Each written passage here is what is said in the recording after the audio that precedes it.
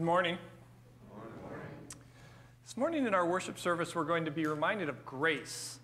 Uh, grace is what God has done for us, not what God enables us to do so we can fix ourselves, but grace is what God freely does for us, not because we deserve it, because we've earned it, but that God freely has chosen to save us. That's what's going to give our lives confidence and joy, is what we'll see this morning.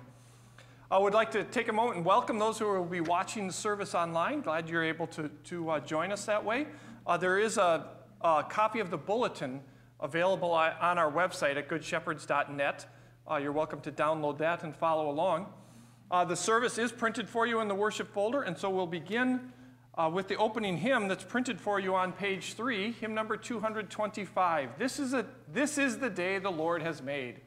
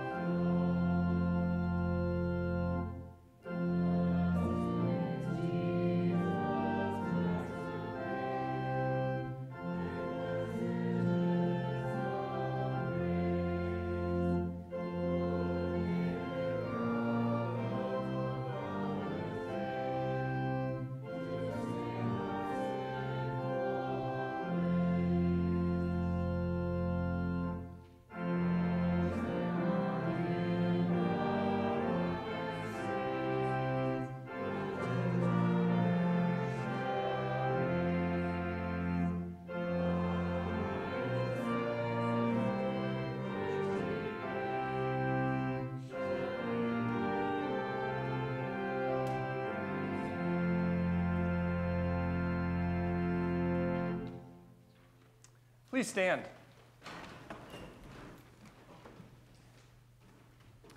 In the name of the Father, and of the Son, and of the Holy Spirit, Amen. the grace of our Lord Jesus Christ, and the love of God, and the fellowship of the Holy Spirit be with you. And also with you. We have come into the presence of God, who created us to love and serve him as his dear children. But we have disobeyed him and deserve only his wrath and punishment. Therefore, let us confess our sins to him and plead for his mercy. Merciful Father in heaven, I am altogether sinful from birth. In countless ways I have sinned against you and do not deserve to be called your child. But trusting in Jesus, my Savior, I pray, have mercy on me according to your unfailing love Cleanse me from my sin and take away my guilt. God, our Heavenly Father, has forgiven all your sins. By the perfect life and innocent death of our Lord Jesus Christ, He has removed your guilt forever. You are His own dear child. May God give you strength to live according to His will. Amen. In the peace of forgiveness, let us praise the Lord.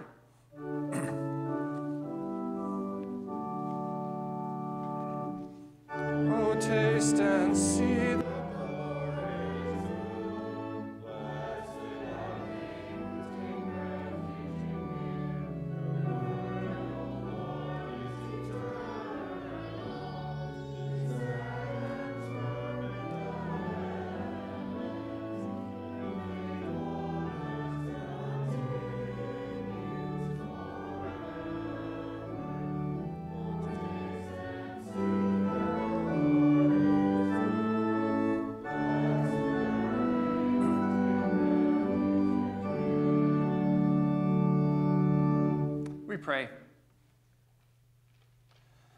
God, you call us to work in your kingdom and leave no one standing idle.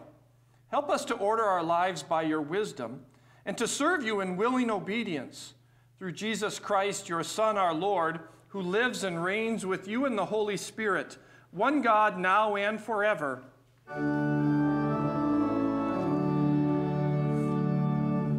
Please be seated.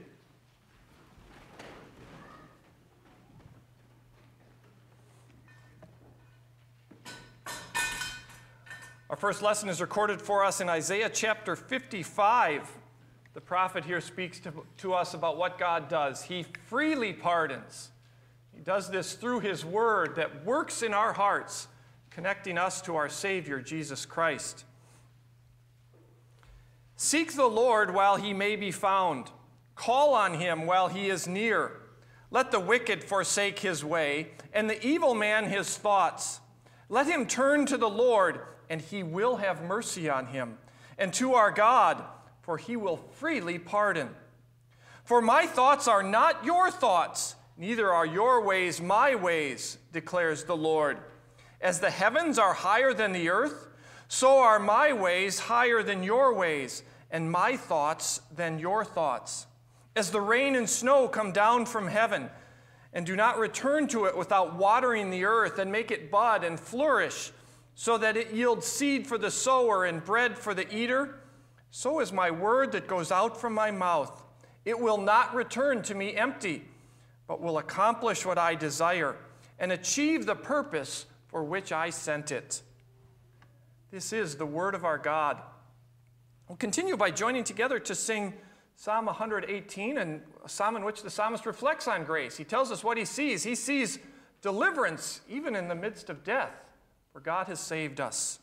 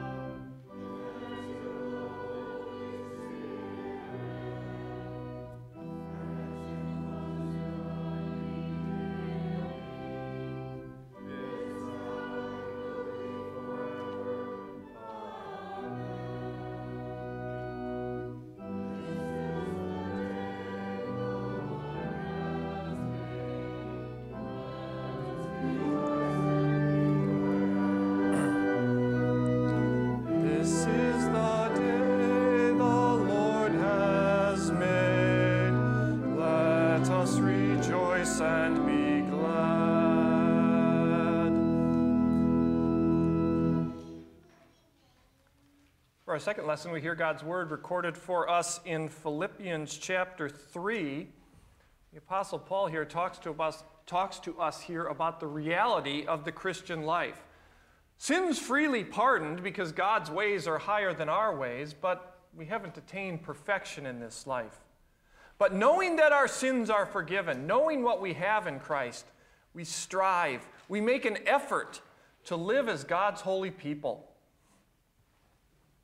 Not that I have already attain, obtained all this or have already been made perfect, but I press on to take hold of that for which Christ Jesus took hold of me. Brothers, I do not consider myself yet to have taken hold of it, but one thing I do, forgetting what is behind and straining toward what is ahead, I press on toward the goal to win the prize for which God has called me heavenward in Christ Jesus. All of us who are mature should take such a view of things. And if on some point you think differently, that too God will make clear to you. Only let us live up to what we have already attained. Join with others in following my example, brothers, and take note of those who live according to the pattern we gave you. For as I have often told you before, and now say again, even with tears, many live as enemies of the cross of Christ. Their destiny is destruction. Their God is their stomach, and their glory is in their shame. Their mind is on earthly things. But our citizenship is in heaven, and we eagerly await a Savior from there, the Lord Jesus Christ, who, by the power that enables him to bring everything under his control, will transform our lowly bodies so that they will be like his glorious body. This is the Word of God. Thank you.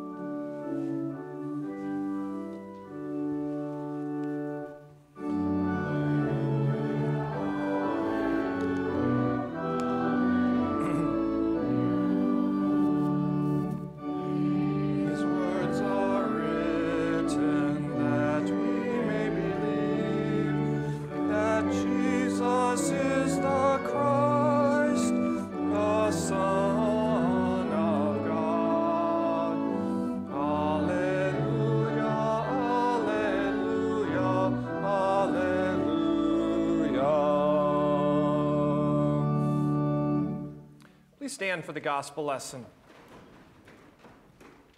This morning we hear the gospel of our Lord Jesus as it's recorded for us in Matthew chapter 20. After you get over the point that Jesus makes, God's not fair, marvel at the point that God is gracious. God doesn't give us what he deserves, he gives us what we don't deserve. This lesson will serve as our sermon text this morning. For the kingdom of heaven is like a landowner who went out early in the morning to hire men to work in his vineyard. He agreed to pay them a denarius for the day and sent them into his vineyard. About the third hour, he went out and saw others standing in the marketplace doing nothing. He told them, You also go and work in my vineyard, and I will pay you whatever is right. So they went. He went out again about the sixth hour and the ninth hour and did the same thing. About the eleventh hour, he went out and found still others standing around. He asked them, Why have you been standing here all day long doing nothing? Because no one has hired us, they answered. He said to them, You also go and work in my vineyard. When evening came, the owner of the vineyard said to, said to his foreman, Call the workers and pay them their wages, beginning with the last ones hired and going on to the first. The workers who were hired about the eleventh hour came, and each received a denarius. So when those came who were hired first, they expected to receive more. But each of them also received a denarius. When they received it, they began to grumble against the landowner. These men who were hired last worked only one hour, they said, and you have made them equal to us who have borne the burden of the work and the heat of the day. But he answered them, Friend, am I not, am I be, not being unfair to you? Didn't you agree to work for a denarius? Take your pay and go. I want to give the man who was hired the, the last the same as I gave you. Don't I have the right to do what I want with my own money? Or are you envious because I am generous? So the last will be first, and the first will be last. This is the gospel of the Lord.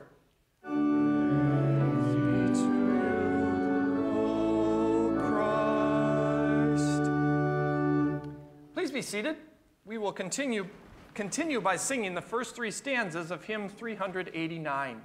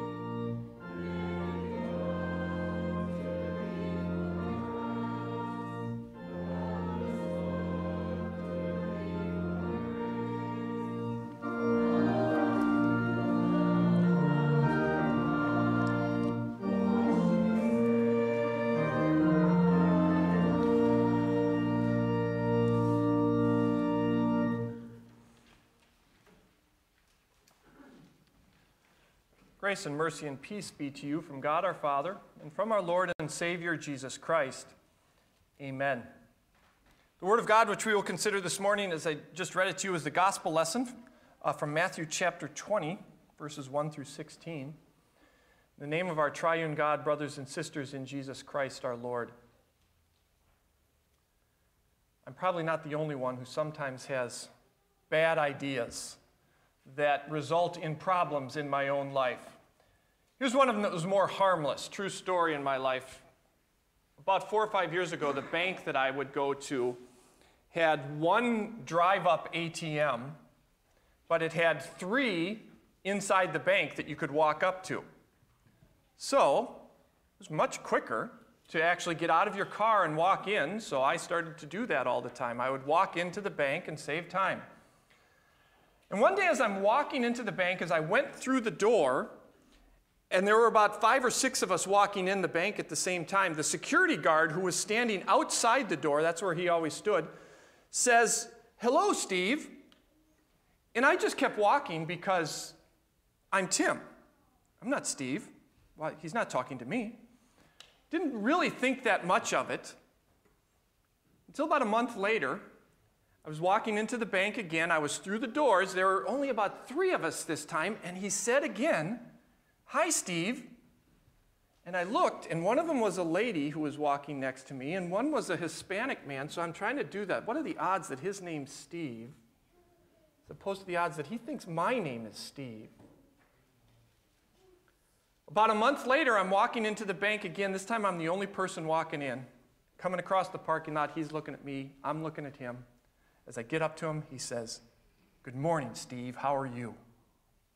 And I said, I'm fine. How are you? And went, oh, I just kind of admitted that my name is Steve. Why did I do that? And I went in, did my business, and as I walked out of the bank, he says, as I'm walking across the parking lot, Hey, Steve, tell Lisa I said hi. sure he was talking about my wife, whose, whose name is Holly. And I realized, you're just an idiot. Why did you do that?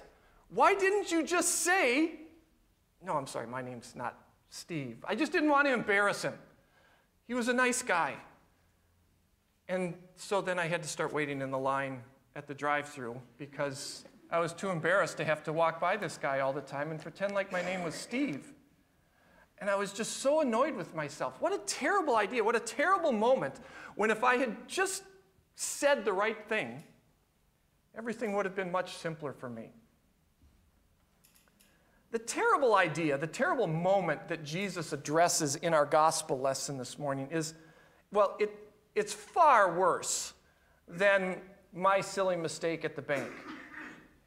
The terrible idea that Jesus addresses is that moment when we might be tempted to think or to say to God, Hey, God, be fair with me. Just give me what I deserve. It's a terrible idea, but it's very common. A lot of people want to think that way. God, give me what I deserve. One of the tragic problems of evil in our world is that it blinds us to the evil in our own lives. And we live with this idea that, yeah, if, if God was just fair with me, that'd be good. The problem with asking God to be fair with us is that if God's going to be fair with us, He's going to judge us not based on the standard we've come up with, but based on His standard. His standard's perfection. And God's not going to be fair with us just based on the stuff we remember, the good stuff we did. It all goes on the table before Him. Everything we've ever done. If we want God to be fair, He's going to look at everything. This terrible idea that we want God to be fair with us is, is rooted in a denial of reality. It's rooted in these dreams we have that we're, we're really good people and that we've pleased God with the things that we've done. It's rooted in a false reality, a false reality in which try your best is all God really wants from you. And so I tried my best. I, I went to church as often as I could. I opened my Bible as often as I could. But we don't bother to think about the times when our excuses were just wrong. We made priorities that pushed God aside. We act as if, well, that's okay. Or we think that, that love your neighbor as yourself means love your neighbor when it's easy to love your neighbor. Or love the neighbors that are, that you, are like you.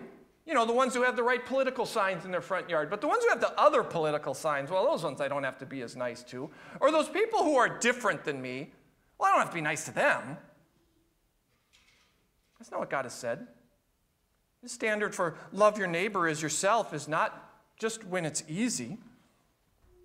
Or sometimes we, we believe that sin is just the really bad stuff, not the stuff that I and a lot of other people do. If a lot of us do it, how wrong can it be? It must be okay. There's a lot of us doing it. And so being a little greedy or losing your temper every now and then, well, that's, that's just stuff that, that people do. Everybody watches this or that TV show or movie. It, how can it be wrong? My friends talk about it. And we live in this false reality in which we get to decide what's right and what's wrong. And then we think, well, if that's the standard, sure, God, be fair with me based on, on my standard. But if God's going to be fair with us, He will expose what lives in us the sin and the rebellion, the selfishness, our unwillingness to help a stranger, but even our family or friends sometimes because we just don't want to, because we're too wrapped up in ourselves. God will expose the long gaps in our prayer life, or the times when our Bibles stayed closed for long periods of time, or we didn't even think about going to a Bible class or church for a while because we just had other stuff to do and that we think will be okay? No. If God's fair, all those sins come before Him And as Jesus says at the very end of the parable, we'll end up being the last. We'll be the ones cast out of God's kingdom, the ones punished for what we've done. The better, obviously better idea for me would have been to say, No, you must be thinking of another tall guy with gray hair who banks here. I'm Tim, not Steve. That would have solved a lot of problems. The better idea for us is not to ask God to be fair, but to ask Him to be unfair. Very unfair. Don't give me what I deserve, God. Give me what I, what I don't deserve. Be ridiculously unfair with me.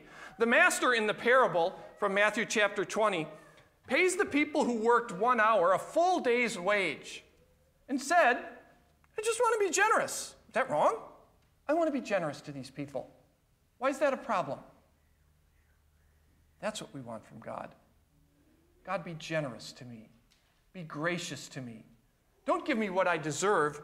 Give me what, what you have graciously chosen to give me.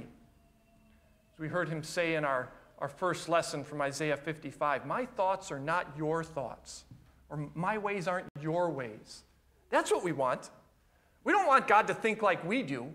We want God to think like God does, guided by grace. Grace that, again, from our first lesson, we heard him say, will freely pardon. Grace that will wash away our sins because his ways are higher than our ways.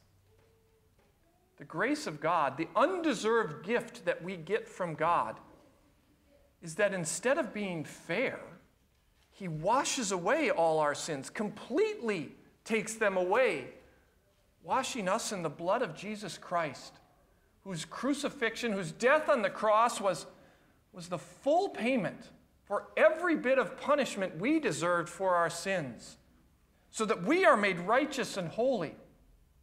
God's grace is based in the resurrection of Jesus Christ that allows us to say with, with the psalmist from this morning, I won't, I will not die, but I will live. I will live because Christ is risen. And I will not be punished, but I will live forever in heaven because of Jesus. Instead of the terrible idea of fairness, what we want is for God to be gracious. And what we want to do is live our lives under that grace. Let grace be grace in your life. Don't try to mingle in a little bit of your works. Judge me by what I've done, God. Don't, don't ever think that, because then it all goes on the table and all the sins are there. Don't ask God to give you what you deserve. Let grace be grace and live in the peace of knowing that your sins are forgiven and that God truly loves you. Live in the confidence that grace gives. If we're going to be judged by what we've done, there isn't a lot of reason to be confident about what's to come. But if we live under grace, if we live under the generosity of, of a God who freely pardons our sins, we can live with confidence confident that God loves us. He has declared that He loves us. When we let grace be grace, that seemingly silly, difficult phrase in the Bible where God says repeatedly, don't be afraid, it actually becomes possible when you live under grace. When you forget about fra- grace, there's plenty of reasons to be afraid. Afraid of what we've done, our own failures, afraid of a world that's gone mad and crazy with sin. But when we live under grace, when we have the assurance that God loves us, sealed for us by the death and resurrection of Jesus Christ, then we can live without fear. Then we can know that the God who saved us loves us and he won't leave us. He's promised to watch over us. He has to. He'll be at work in our lives. When we let grace be grace, we can live with all the joy that God wants us to have. All the joy that God wants you to have, even this year, even in 2020, with all the problems we've experienced. The Christian knows joy. Joy is that God loves us. God has chosen to love us, and God will not stop loving us. The troubles we faced this year are not punishment. They can't be. The punishment for us was at the cross of Jesus Christ. He took it for us. God is testing and refining us as His people, drawing us closer to Him, reminding us what's most important. That gives us joy to know that God loves us enough to be at work in our lives. Letting grace be grace makes us bold to carry out the ministry that God has given us here at Good Shepherds to carry out. It's not dependent on what we've done, how good we've been, but our ministry is based on the grace of God. We proclaim a Savior, Jesus Christ. Quite honestly, it's grace that lets us actually think about the merger that's being proposed between our various congregations in the area because it's not dependent on who we are or what we've done that it might work. But that merger would be based on the grace of God, a God who has, for 2,000 years, been busy blessing his Christian church as they strive to proclaim the gospel. And we can be confident that the God who has been blessing his church will continue to bless us. Letting grace be grace not trying to get what we deserve, but just being confident that we are God's people because of His grace. It has a powerful effect in the individual lives of Christians. In our second lesson from Philippians chapter 3, you heard Paul talk about that. He says in that second lesson that, or he talked about what we have already attained. Think about that phrase for a second. What have you already attained? Because of Christ Jesus, you have already attained righteousness and holiness and perfection and the love of God. And so Paul can say later in that lesson that we are citizens of heaven, we who believe in Jesus Christ.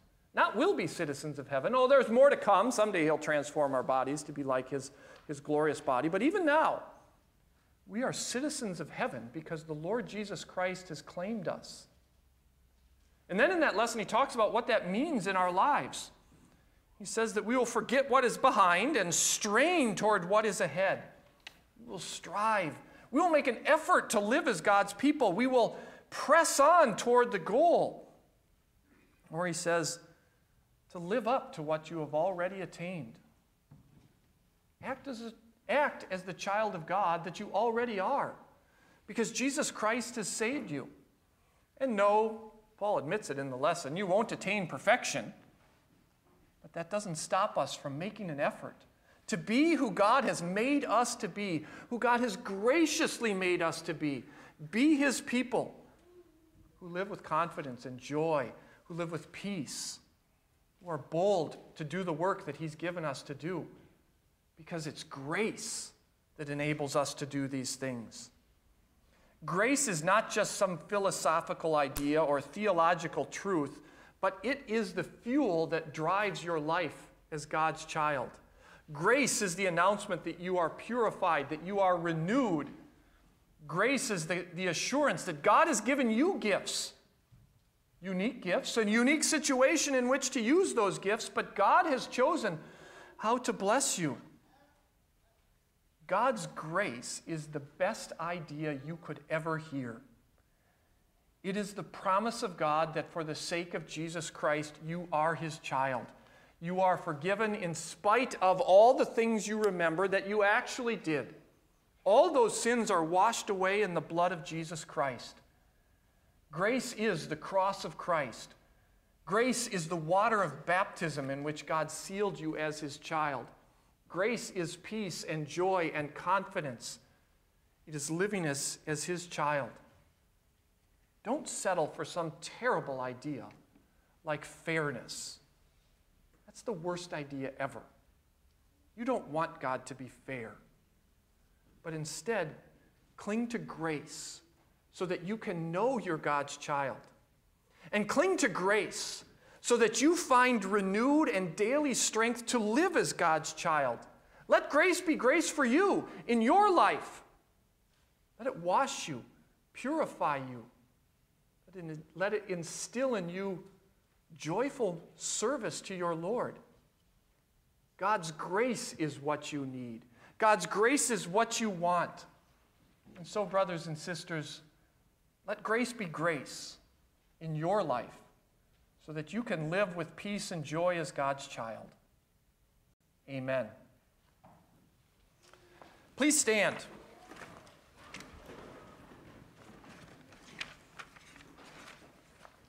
The peace of God that passes all understanding will guard and keep your hearts and your minds through faith in Christ Jesus. Amen. We'll continue on page 12 of the worship folder, joining together to confess the Apostles' Creed. I believe in God the Father Almighty, maker of heaven and earth. I believe in Jesus Christ, his only Son, our Lord who was conceived by the Holy Spirit, born of the Virgin Mary, suffered under Pontius Pilate, was crucified, died, and was buried. He descended into hell. The third day he rose again from the dead. He ascended into heaven and is seated at the right hand of God the Father Almighty. From there he will come to judge the living and the dead. I believe in the Holy Spirit the holy Christian church, the communion of saints, the forgiveness of sins, the resurrection of the body, and the life everlasting. Amen.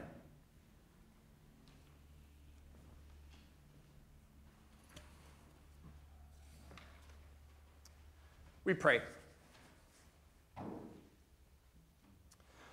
O Lord God, our Heavenly Father, we praise and glorify you for your unsurpassed gift, the gift of your Son, Jesus Christ our Lord.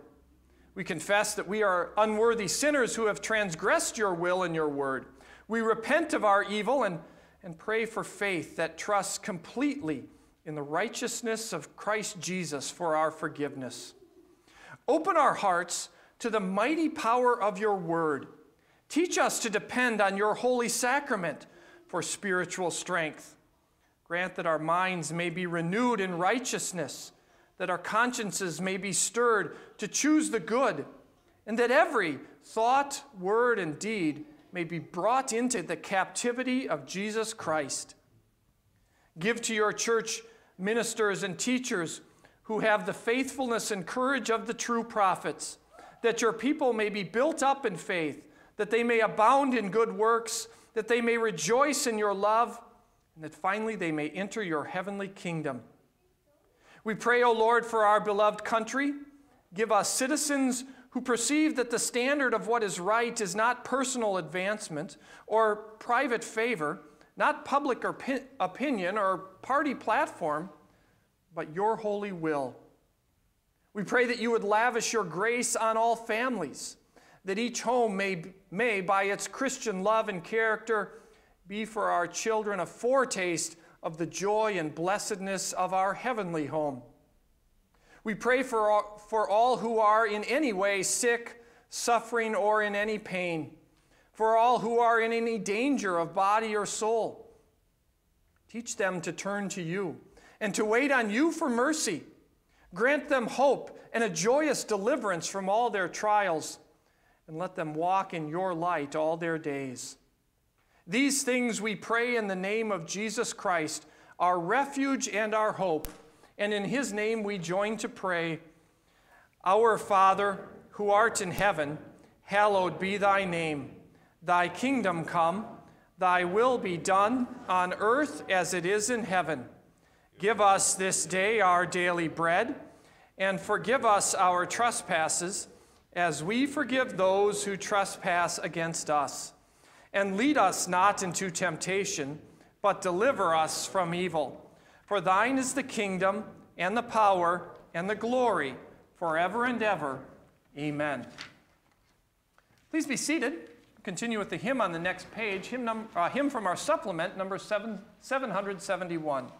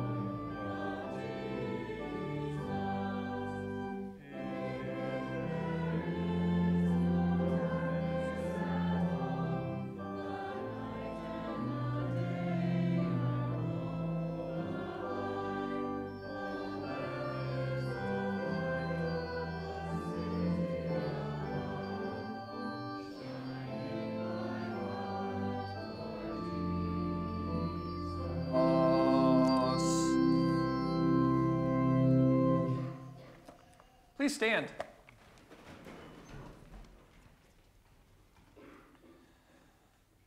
O Lord God, our Heavenly Father, pour out the Holy Spirit on your faithful people.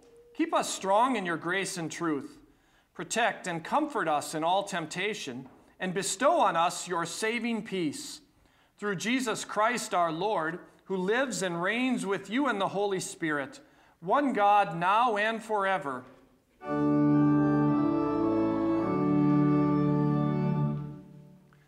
Brothers and sisters, go in peace. Live in harmony with one another.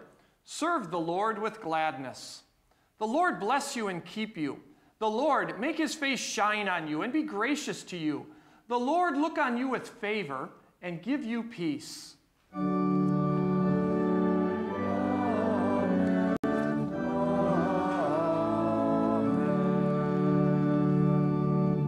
Please be seated. We'll close with hymn number 320.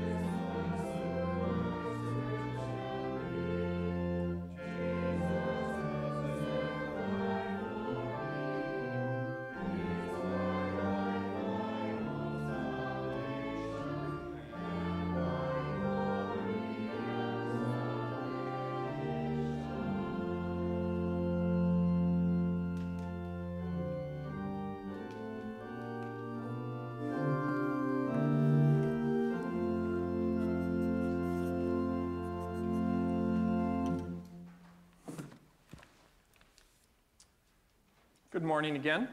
Good morning. Uh, welcome. If you're visiting with us, we're glad you're here. We have a guest book uh, off to the left as you exit. Hope you'll take a minute to sign that.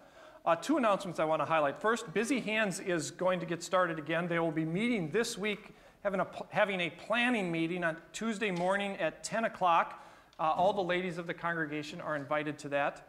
And then this, underneath that in there is an announcement about, I, when I first show up at a congregation, I usually try to do visits with the congregation after a month or two. Well, after a month or two, we closed the whole world down after I got here.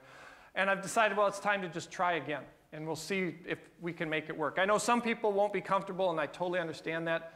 Uh, if you're not comfortable, I'll keep trying to do this for a while. But on the back table to the right of the back door, I, I set up some times when I could visit with people. And it's nothing formal. I just want to get to know people a little better here. Uh, so if, if there's a time that works on there for you, please sign up. You'll notice it says afternoon or evening. That's not a specific time. That's so you can tell me what specific time would work for you. I, I've blocked out that time and we'll make it work. But if it works for you, and we'll do this for a while, I know it's a bigger congregation. I can't visit you all in, in a month or two. Uh, but as we have time, uh, sign up there and hope I'll get to, get to know you just a little bit better.